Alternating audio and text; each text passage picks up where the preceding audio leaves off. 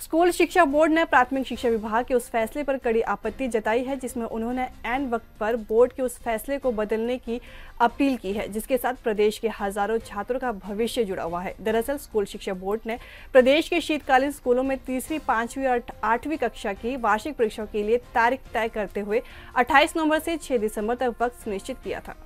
शिक्षा बोर्ड के chairman doctor Suresh Kumar Soni ने बताया कि ये तारीखें तय करने से पहले उनकी ओर से प्राथमिक शिक्षा विभाग से पहले ही सलाह मशवरा कर लिया गया था और उन्होंने परीक्षा लेने पर हामी भी भर दी थी। बावजूद इसके अब जब शिक्षा बोर्ड फैसला ले चुका है तो आज एन वक्त पर उनकी ओर से फ़ोन पर यह जानकारी दी गई है कि चुनावों के दौरान उनकी धर्मशाला में होने वाली प्राथमिक स्तर की वार्षिक खेलकूद प्रतियोगिता नहीं हो पाई है और उन्हें अब 28 नवंबर से 5 दिसंबर तक आयोजित किया जाना है। ऐसे में अब शिक्षा बोर्ड वार्षिक परीक्षा 6 दिसंबर के बाद ही आयोजित करवाएगा। चेयरमैन सूरी ने कहा कि शिक्षा बोर्ड सिर्फ़ परीक्षा आयोजित करवाने वाली एजेंसी है और अगर यही बात विभाग ने पहले कह दी होती तो आज उन्हें दोबारा फैसला न लेना पड़ता।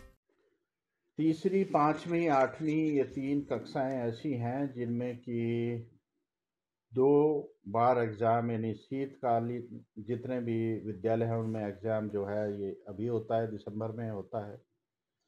और नवंबर में प्रारंभ हो हो जाता है। और बाकी हम मार्च या अप्रैल में करते हैं। तो तीसरी तीसरी, पाँचवीं और आठवीं का जो डेट शीट है, हमने रिलीज़ कर दिया था। अठाई ग्यारह, दो हज़ार बाईस से प्रारंभ किया था। और ये छः बारह, दो हज़ार बाईस तक आठवीं का ये समाप्त होना था। लेकिन आज ही मुझे फ़ोन आया एलिमेंट्री एजुकेशन डिपार्टमेंट से। सेक्रेटरी बोर्ड से भी उन्होंने बात की है। हालाँकि हमने एलिमेंट्री डिपार्टमेंट से पूछा था कि आप बताएँ कि आपकी आगे क्या इंगेजमेंट्स हैं और हम किस प्रकार से अपनी डेट शीट तय करें? पहले कोई जवाब नहीं आया। अब उन्होंने वर्बल फ़ोन किया है और ये कहा है कि कोई उनकी स्पोर्ट्स एक्टिविटी या धर्मशाला में होनी है तो आठवीं वाले बच्चों का जो एग्ज़ाम है जो अट्ठाईस और उनतीस का है कि उसको आप पोस्टपोन करें। तो हम बच्चों की सुविधा के लिए कर रहे हैं, लेकिन डिपार्टमेंट जब बोर्ड पूछता है तो पहले ऐसे लिख कर भेज दे तो ऐसी असुविधा नहीं होगी।